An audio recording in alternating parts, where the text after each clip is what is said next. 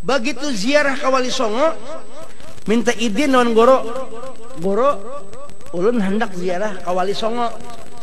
Ini berada di rumah guru nek. Ini kan ada begayaan sih sihin berpender langsung aku gisi ulun seorang ulun seorang mata ulun seorang menyaksikan ke dalam dusta begitu sih hendak ziarah ke Wali Songo ujar abah guru napa ujar guru sekompol ikam sini ziarah ke sana kah? Kamu tahu lagi sih dalam kamarku sih sembilan wali itu ada di kamarku. Gurunya aku di guru sekompol dibuka kamar tuh di guru. Melihat itu sembilan wali songo ada di kamar itu. Ini keramat ngarannya. Karo? Karamat apa ini? Ini khurafat minal makzubat saya termasuk yang protes keras hal-hal semacam ini.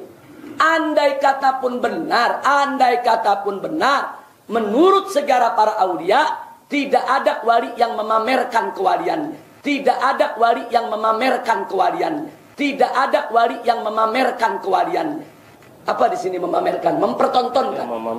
Andai kata benar ada wali, andai kata benar ada wali yang melihat satu keajaiban sedemikian rupa, tak ada wali yang mempertontonkan keajaibannya di hadapan di hadapan umat. Para aulia tawadu.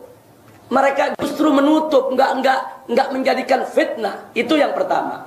Yang kedua soal mimpi-mimpi. Dikit-dikit cerita mimpi ketemu Rasulullah. Tadi pagi habis uh, coffee break bersama Rasulullah. Uh, tadi malam makan malam bersama Rasulullah. Saya sering dengar berita-berita macam itu.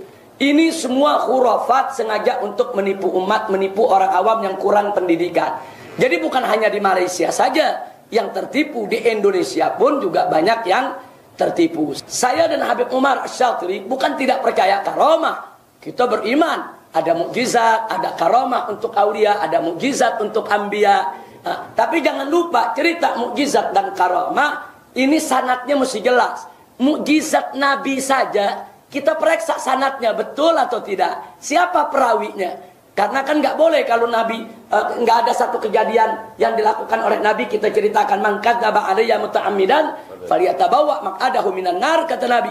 Barang siapa yang berdusta uh, atas namaku kemudian dia sampaikan satu hadis atas namaku berdusta maka dia akan mengambil bagian tempatnya di api neraka jadi artinya mukjizat nabi saja mesti kita periksa mesti kita teliti mesti kita lihat betul atau tidak itu terjadi bagaimana karomat-karomat para wali nah jadi karomat para wali selama sanatnya betul sanatnya kuat dari orang-orang terpercaya kita beriman dengan dengan adanya karomat tapi kalau karomat itu nggak jelas dari siapa, yang bicara juga nggak jelas bagaimana dia punya iman dan takwa. Ini ini banyak hurufat makzubat untuk menipu umat.